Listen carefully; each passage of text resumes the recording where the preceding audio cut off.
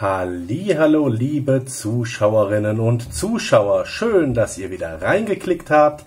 Heute habe ich einen tödlichen Leckerbissen aus dem Jahr 1985 mitgebracht, der unter der Regie von Larry Cohen entstanden ist und bereits im Januar 2017 auf Blu-ray im Mediabook veröffentlicht wurde, damals von Turbine. Und jetzt legt WMM im Vertrieb, im Vertrieb von AVV ein neues Mediabook nach. Das ist sogar wattiert und demnach auch für den einen oder anderen Sammler vielleicht ein bisschen was, äh, man sagt, Mensch, ja, ich habe das zwar schon, aber ein wattiertes Mediabook ist dann ja doch eine andere Nummer. Ganz davon abgesehen haben wir hier ein komplett neues Booklet drin und ein neues äh, Artwork und außerdem auch noch ein Tütchen von dem leckeren Stuff. Äh, ja, also es gibt mehrere Gründe, warum man hier nochmal zugreifen sollte. So, dieses Mediabook ist seit dem 3. Ähm, Mai 2023 im Handel erhältlich und weil ich euch das hier damals noch nicht gezeigt habe, gehen wir hier mal ganz kurz durch, aber um das hier geht es gar nicht. Damals waren ja auch Blu-ray und DVD mit drin. Wir hatten hier ein kurzes, aber äh, informatives Mediabook mit dabei, mit einigen Bildern aus dem Film. Und äh, ja, ein interessanter Text, muss ich sagen. Also wirklich, das Mediabook von Turbine damals war nicht schlecht. So, ja, also im Prinzip reicht das. Aber jetzt haben wir hier dieses neue Mediabook auf dem Tisch liegen von WMM AVV ja, so viele Buchstaben. Und ich sehe gerade, das Bild wird wieder Sepiafarben. Wenn ich das wegnehme, wird sie uns wieder weiß. Ich weiß nicht, woran das liegt. Das ist mit Sicherheit irgendwie eine Einstellung an der Kamera. Aber gut, ich denke, vielleicht kriegen wir das irgendwann nochmal hin. Ist jetzt aber auch nicht so wirklich wichtig, weil wenn ich hier näher rangehe, ihr seht das dann, werden die Farben wieder echt ja, irgendwie muss ich mal gucken, was das ist. So, also wir haben hier dieses Mediabook mit diesem neuen Artwork und da muss ich sagen, das gefällt mir ausgesprochen gut. Diese knalligen Farben, auch wenn der Film selber nicht so ist, äh, ist es, passt es dennoch besser zum Film. So, und dann haben wir hier oben auch diesen fluffigen Schriftzug, der mir etwas besser gefällt als hier damals bei dem. Wobei das Artwork hier, muss ich ganz ehrlich sagen, gefällt mir auch sehr gut. Ähm, aber es ist halt etwas zu ernst, ja, hinten drauf auch. Und äh, ja, wenn wir uns das hier anschauen, das äh, entspricht schon eher dem etwas lockeren, äh, witzigen Grundton des Films. Dann schauen wir uns jetzt mal das Spine an. Da steht auch der Titel drauf, Stuff. Und jetzt haben wir leider das Problem, weil es ist ja ein wattiertes Mediabook. Und ähm, ihr seht das hier, also das Frontcover, das lappt hier auf das Spine rüber. Das heißt, wenn ihr das im Regal stehen habt, dann sieht das eben nicht so schön einheitlich aus, sondern hier von der Seite kommt noch das Frontcover rüber und das, äh, naja, ist jetzt nicht ganz optimal. Ich meine, es stört nicht, aber es sieht doch irgendwie doof aus, wenn man die nebeneinander im Regal stehen hat und hat das alles schwarz und dann kommt hier noch dieser, dieser kunterbunte Streifen mit drüber. Hätte man anders klären können, indem man das hier irgendwie weiter, aber naja, gut, hat man nicht, ja, und äh, was hätte sein können, müssen wir an dieser Stelle auch gar nicht groß thematisieren. So, dann haben wir hinten drauf eine Inhaltsangabe, ein paar Bilder aus dem Film, dann hier einmal die Credits und die Produktspezifikation, denn auch hier handelt es sich um eine DVD Blu-ray Kombi-Packung. Und hier sehen wir auch schon, es handelt sich um eine 2-Disc Limited Super Spooky Stories Edition. Also aus dem Rahmen der Super Spooky Stories. Da habe ich übrigens einige bekommen, die packe ich euch jetzt nach und nach aus und den einen oder anderen besprechen wir auch, also Becky und ich. Freut euch schon mal auf Friedhof der Zombies mit Hugo Stieglitz. Großartiger Trashknaller, wirklich toll. Und dann haben wir hier das Bonusmaterial Material, das ist leider nicht ganz so umfangreich, aber war es bei der Turbine-Veröffentlichung auch nicht. Das legt also den Verdacht nahe, dass es sich hier um ein Achtung, ganz böses Wort, Repack handelt. Das habe ich jetzt nicht gesagt. Ich möchte nur sagen, dass hier nicht viel mehr drauf ist, aber es gibt halt auch nicht so wahnsinnig viel Bonusmaterial zu diesem Film. Von daher geht das schon in Ordnung. So, und limitiert ist das Ganze auf ähm, 333 Stück und durchgehend nummeriert auch. Hier die Nummer 121 und es ist Cover-Variante W. W für wattiert. Heißt also nicht, es gibt so unglaublich viele Cover-Varianten, also A, B, C, D, E, F, G, sondern das hier W, das steht für wattiert. So, jetzt schauen wir uns das mal an. So, und hier haben wir auch schon das Tütchen mit dem Stuff. So, wer den Film nicht kennt, der Stuff, das ist ein, ähm, ja, eine Art Marshmallow-Creme, die in Amerika gerade ganz groß gehypt wird. Aber das ist eine lebendige Masse und die frisst die Leute, die es essen, von innen auf, verwandelt sie in Monster.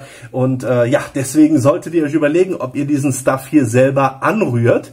Auf jeden Fall, das hier finde ich ist ein nettes kleines Gimmick letzten Endes hier, wir sehen es an den Zutaten, wenn wir uns die Zutatenliste ansehen.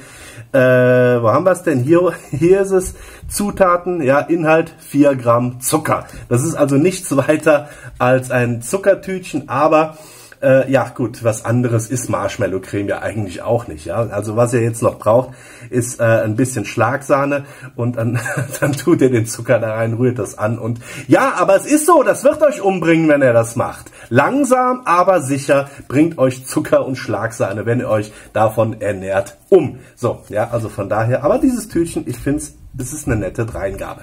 So, dann haben wir hier vorne die Blu-ray drin liegen. Die schaut so aus, hat auch dieses tolle Artwork drauf, das es ebenfalls schon vor einigen Monaten in einem Mediabook gab. Es gab also schon mal zwei weitere Mediabook-Versionen. Äh, aus, außerhalb der, der Turbine Mediabook Veröffentlichung. Also es gab schon vor ein paar Monaten äh, zwei weitere und jetzt kommt halt die hier noch nach. So, und dann haben wir hinten noch die DVD drin liegen, die schaut so aus. Auch ein schönes äh, Artwork, aber das ist identisch mit dem ähm, DVD, ähm, hier mit der DVD, die wir da haben. Also ist das gleiche Artwork. Äh, jetzt haben wir, es sieht ein bisschen anders aus, aber ich gehe halt wirklich davon aus, dass das einfach nur, äh, man könnte jetzt ganz böse sagen, alter Wein in neuen Schläuchen. Aber ich sag mal so, es gibt ja so viele Verpackungssammler da draußen, die wird das wenig stören. Abgesehen davon kriegt ihr das Mediabook von Turbine gar nicht mehr. Also ihr habt, ja, es steht gar nicht zur Debatte. Ihr könnt euch jetzt das hier holen und äh, eine andere Wahl habt ihr quasi gar nicht. So, wir haben einen farbigen Innendruck. Da packen wir jetzt auch die DVD und die Blu-ray wieder rein und dann schauen wir uns das Booklet an. Das alles in allem ähm, ja, also ich hatte das Booklet hier im Turbine Mediabook ist nicht schlecht, aber das Booklet hier von Christoph N. Kellerbach, ähm, das ist, ja, ich muss ganz ehrlich sagen, ich bin ein Fan von Christoph N. Kellerbach und wenn der was schreibt, dann hat das Ganze Hand und Fuß und das hier ist ein echtes Essay, da gibt es nichts zu meckern und wir sehen das hier auch, hier ist es sehr umfangreich, es ist sehr gut recherchiert, es ist auch toll geschrieben, so wie der Christoph das halt immer macht. Dann haben wir hier zwischendurch auch hin und wieder mal ein Bild aus dem Film, wobei das hier ist kein Bild aus dem Film, das ist ein Werbebild und ähm, ansonsten ist das Ganze sehr, sehr informativ. Also äh, gut, idealerweise hat man beide. Dann hat man wirklich alle Hintergrundinformationen, die man braucht. Aber ähm, objektiv betrachtet gefällt mir das Mediabook hier vom Informationsgehalt besser. Aber das ist meine Meinung. So, das Papier für meinen Geschmack etwas zu leuchtend, äh, etwas zu glänzend. Aber ja, das ist halt meine Meinung und viele Leute finden das gut. Von daher, das erwähne ich einfach nur und äh, damit hat es sich. So, wir haben jetzt hier ein 16-seitiges Booklet. Wie gesagt, das ist jetzt nicht so wahnsinnig viel, aber ihr habt gesehen, es besteht fast ausschließlich aus Text und äh, da gibt es also so viele Informationen, ich finde es unheimlich toll. So, hier in der Mitte ist das schön festgemacht, das Booklet, das ist auch richtig schön verarbeitet. Hier Bewegung ist hier so gut wie, ja doch, ja, durch das Wattierte halt, ne? Ist doch alles ein bisschen wabbelig. Doch, doch, doch, ich sehe das gerade, ist ein bisschen wabbelig, aber naja, gut, äh, ne, das, das, das ist halt so. Es hätte etwas, etwas stabiler sein können, aber das hatte das Turbine Media Book hier ebenfalls, aber auch viel ähm, Bewegung drin. Und wenn wir uns das hier jetzt nochmal so ganz kurz zu Gemüte führen wollen, weil es heißt ja in letzter Zeit immer wieder, Turbine würde die Qualität runterschrauben. Dieses Mediabook hier ist aus dem Jahr 2017 und weist die gleiche Qualität auf, die auch aktuell bei Mediabooks von Turbine zu finden ist. Das heißt also, es gibt an dieser Stelle aus meiner Sicht auch nichts zu bemängeln. So, ja, ja, doch, es ist ein bisschen sehr viel Bewegung drin hier. Ich sehe das gerade. Das ist mir vorher gar nicht so aufgefallen, ne? Aber naja, gut. Also ein wattiertes Mediabook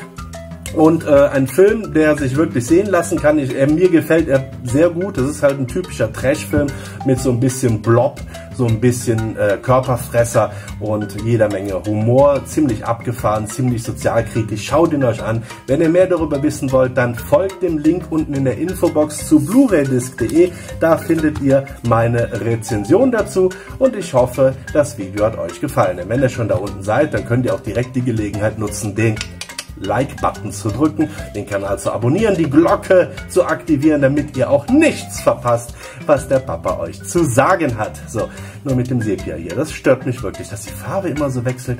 Naja, gut, liegt bestimmt an der Kamera. In diesem Sinne, vielen Dank für die Aufmerksamkeit. Bleibt gesund, seid schlau, schaut lau und äh, bleibt geil. Bis dann, euer Michael Speyer.